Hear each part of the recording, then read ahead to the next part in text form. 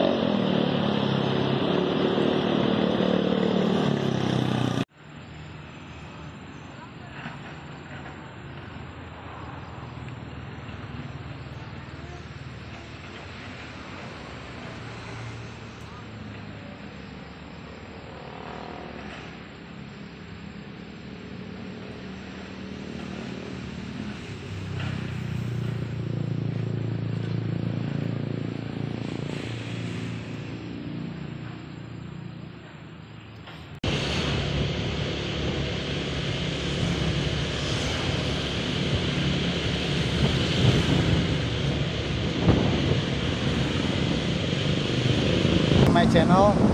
Hari ini kita sedang jalan-jalan di